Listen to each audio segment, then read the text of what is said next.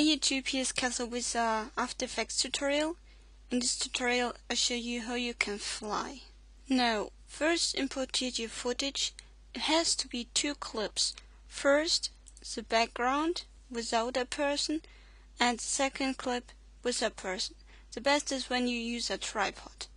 Duplicate the jump layer, press Ctrl D and go to this point where you jump high. You can go arrows down, picture down, keys on your keyboard down and high to go frame by frame. On this point I start flying, right click on the layer, choose time and frame, freeze frame. And now you see we have the picture is framed and go back to this point where you jump and cut this layer. And the picture. This is hold on shift control D. And now delete the part the first part from the picture and the last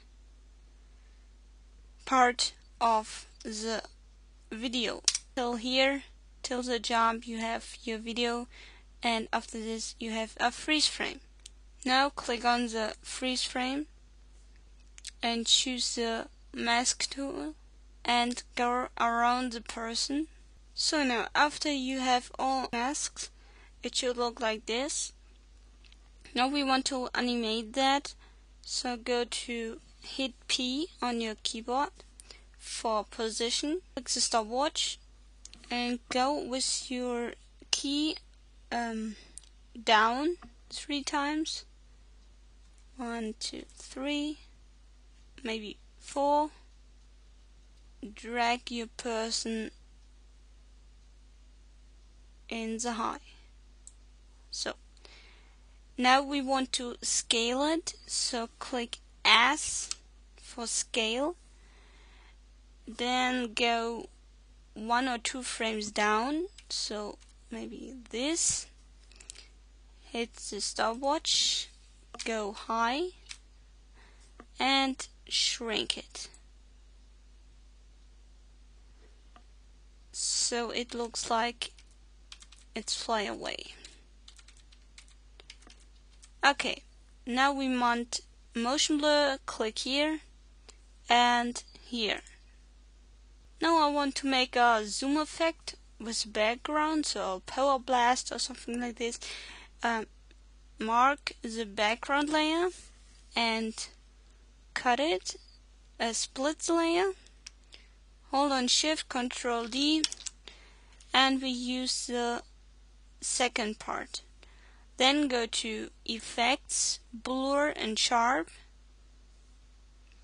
and Radial Blur. First go to this uh, method, go to um, line stuff, whatever call it, make this point in the middle up, you will fly here, and make this for strong. And make the stopwatch and make here zero. Now go one frame down.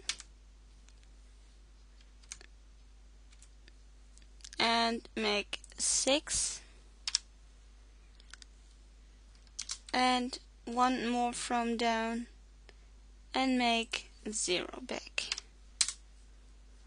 Now you get this awesome effect. Okay, and here's the result.